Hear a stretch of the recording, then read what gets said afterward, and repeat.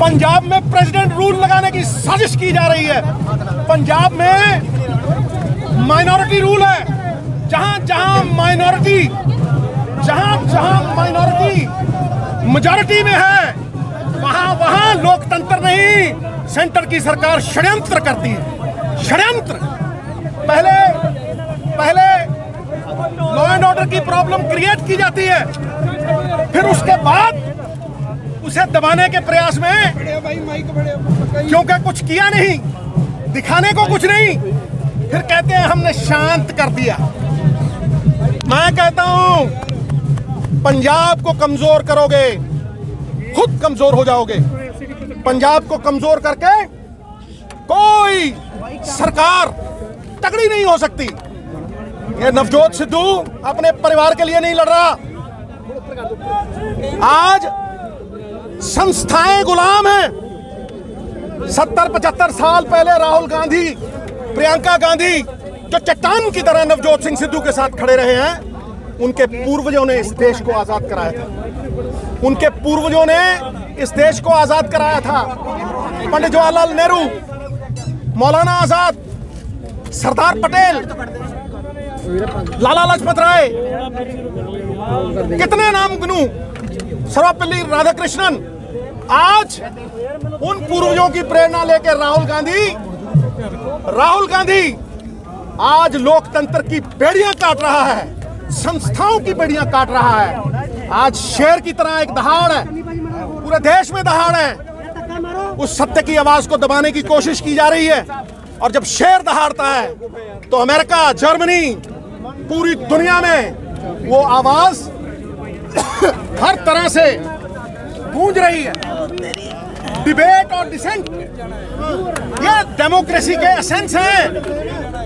Essence कि तुमसे अगर कोई रग नहीं मिलती तो वो पार्लियामेंट में बोलेगा और बताएगा। ऑपोजिशन का रोल है ये।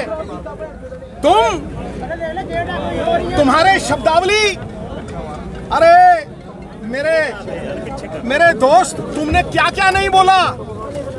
फिर तुम करो तो न्यारी लीला कोई और करे तो कैरेक्टर ढीला।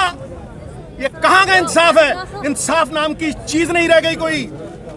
कॉन्स्टिट्यूशन को अपना ग्रंथ मानता हूँ मैं। कॉन्स्टिट्यूशन में आता है इक्वालिटी सबका साथ और सबका विकास कहने को तो यह है। पर क्या किसी गरीब तक लोगों की ताकत पहुँची है? डेमोक्रेसी का मतलब है लोगों की ताकत लोगों तक पहुँचे। लोगों की ताकत लोगों तक नहीं चंग पूंजीपतियों तक सीमित होकर रह गई है, दोस्त। तनाशाह तनाशाह। लेकिन आज मैं तुम्हें कहता हूँ, पूछो, जो न्याय है।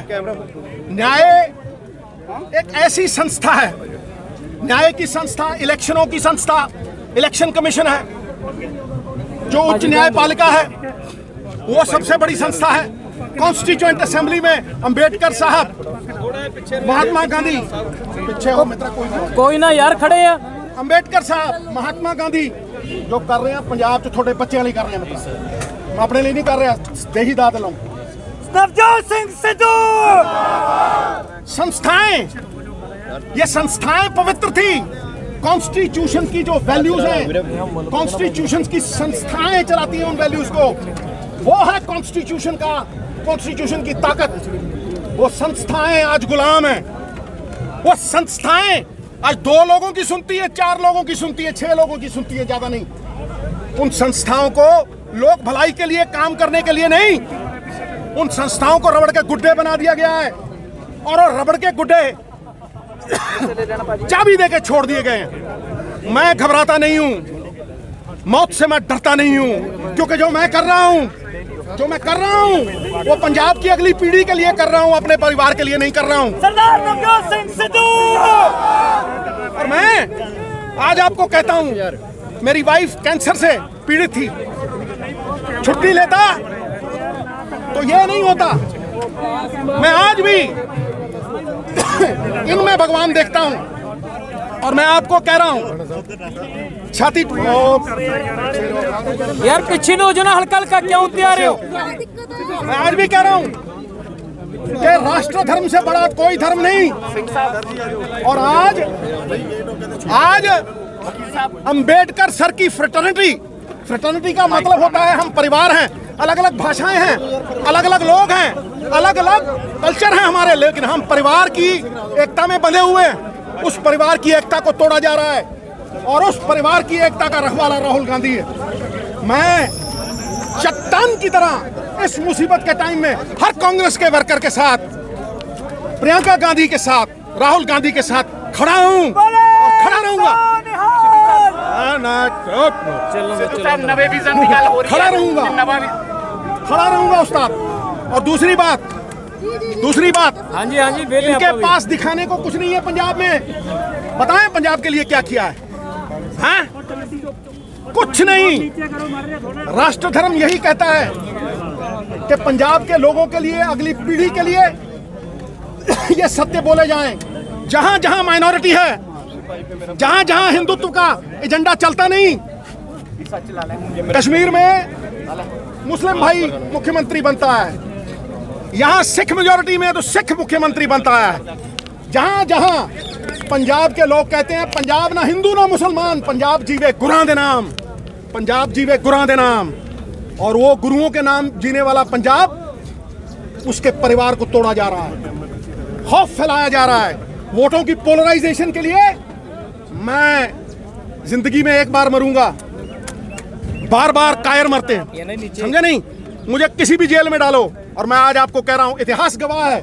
323 में आज तक एक साल 323 में किसी ने हफ़्ता कैद नहीं काटी। हफ़्ता कैद। और कभी आज तक रिव्यू नहीं हुआ। तो सिद्धू सिद्धू क्यों आया जेल में? सिद्धू जेल में इसलिए आया कि वो संस्थाएँ मेरे पूर्वजों ने स्थापित की थी।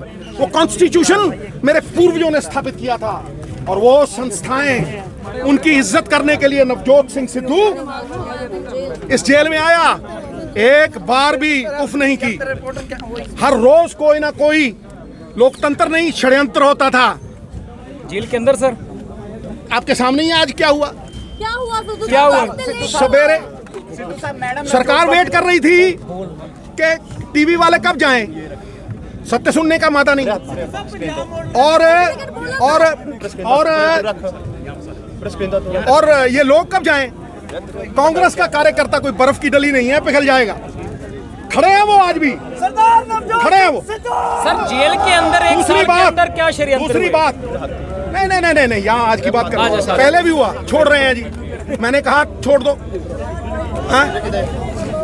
इसलिए मैं कहता हूँ कि जो सत्य की आवाज़ है वो बिल्कुल सही है।